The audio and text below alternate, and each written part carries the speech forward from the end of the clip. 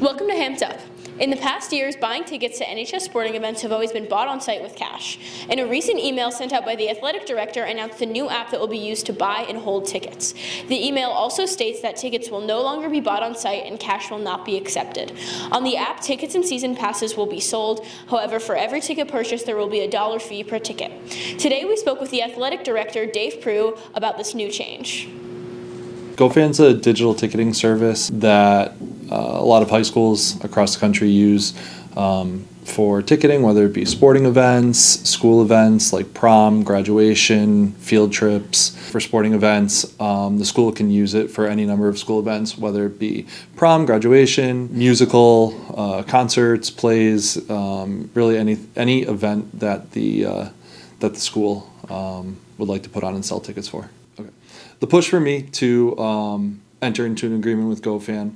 Um, first, the MIAA, our governing body for our state athletic association, and our conference, the PVIAC, have both entered agreements with GoFan.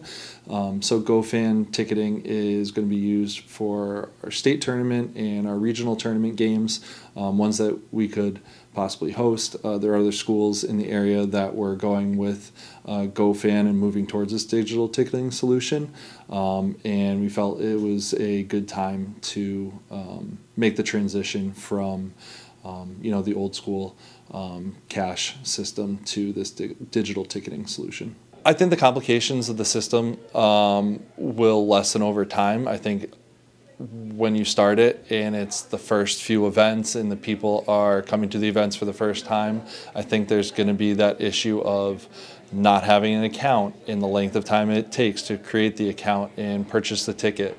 Um, but once people get used to it um, and our families are able to purchase passes at a discounted rate, um, our students are able to get their passes and have it on their phone and have their accounts in place, I actually think it'll be easier than the lines that exist and having to wait for people to buy daily tickets and having to go through the cash option. So I think in the long run it will be um, a more efficient and easier um, way to get to our games.